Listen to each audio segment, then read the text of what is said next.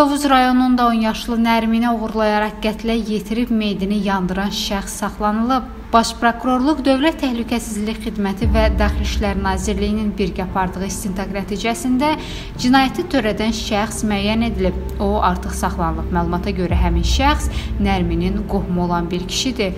Gün ərzində dövlət qurumlarının məsələ ilə bağlı rəsmi məlumat yayacağı gözlənilir.